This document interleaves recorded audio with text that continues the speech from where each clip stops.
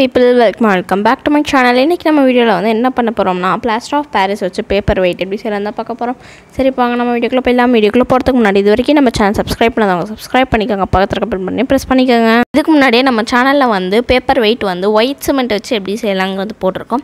அந்த வீடியோ நீங்கள் என்ன பார்க்கலன்னா நான் மேலே காட்ஸில் கீழே டிஸ்கிரிப்ஷனில் லிங்க் கொடுக்குறேன். நீங்கள் வந்து செக் பண்ணி பார்த்துக்கோங்க. இப்போ நம்ம செய்ய போகிற பேப்பர் வெயிட் வந்து ஃப்ளவர் ஷேப்பில் இருக்க போது ஸோ நான் அதுக்காக வாட்டர் பாட்டிலோட அடிப்பக்கம் இருக்குல்ல அதை வந்து நான் கட் பண்ணி எடுத்திருக்கேன். நீங்கள் உங்களுக்கு பிடிச்ச ஷேப்பில் வந்து ரெடி பண்ணிக்கலாம். அதுக்கப்புறமா நான் வந்து second quality plaster of Paris வந்து எடுத்திருக்கேன். எனக்கு வந்து செகண்ட் குவாலிட்டி தான் கிடச்சிது. அதுக்கப்புறமா நம்மளுக்கு வந்து தண்ணி வந்து தேவைப்படும். சரி இப்போ வாங்க நம்ம செய்ய ஸ்டார்ட் பண்ணிடலாம்.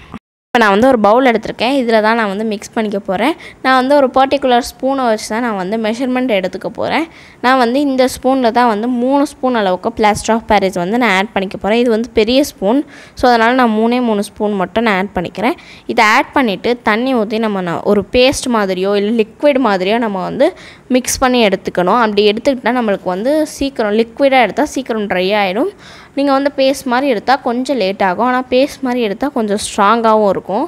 ஸோ அதனால தான் நான் வந்து நான் பேஸ்ட் மாதிரி ரெடி பண்ணி எடுத்து இதை நம்ம வந்து மூணு நாள் கிட்டேயாவது கம்ப்ளீட்டாக ட்ரை ஆக விடணும்.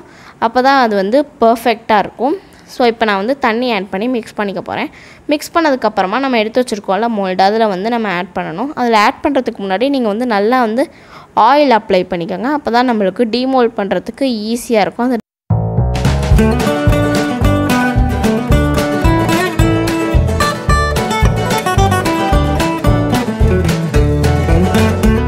ஸோ இப்போ இது நல்லாவே ட்ரை ஆகிடுச்சு ஓரத்தெல்லாம் பார்த்தீங்கன்னா அதுவே தானாக டீமோல்ட் ஆகிருக்கும் ஸோ இந்த மாதிரி இருக்கப்புறம் நீங்கள் எடுத்துடலாம் வெளியில். எடுத்ததுக்கப்புறம் அது வந்து இப்படி தான் இருக்கும். விரிசல் எதுவுமே இருக்காது. நல்லா டேப் பண்ணிங்கன்னா விரிசல் எதுவுமே இருக்காது. நல்லாயிருக்கும் ஸோ இப்போ நம்ம வந்து இதில் நம்மளுக்கு பிடிச்ச மாதிரி பெயிண்ட் பண்ணிக்கலாம். இது வந்து பார்க்குறதுக்கு ஃப்ளவர் மாதிரியே தான் இருக்கும்.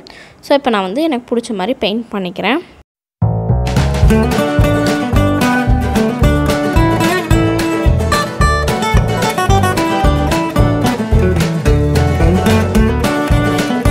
வீடியோ உங்களுக்கு பிடிச்சிருக்கும் நம்பரை இதை கண்டிப்பாக உங்கள் வீட்டில் நீங்கள் ட்ரை பண்ணி பார்த்துட்டு மறக்காம கமெண்ட் பாக்ஸில் சொல்லுங்கள் இதோட நம்ம வீடியோட எண்ட் வந்துட்டு உங்களுக்கு இந்த வீடியோ பிடிச்சிருக்கும் நம்பரை பிடிச்சிருந்துச்சுன்னா லைக் பண்ணுங்கள் ஷேர் பண்ணுங்கள் கமெண்ட் பண்ணுங்கள் மறக்காம நம்ம சேனலையும் சப்ஸ்கிரைப் பண்ணிடுங்க.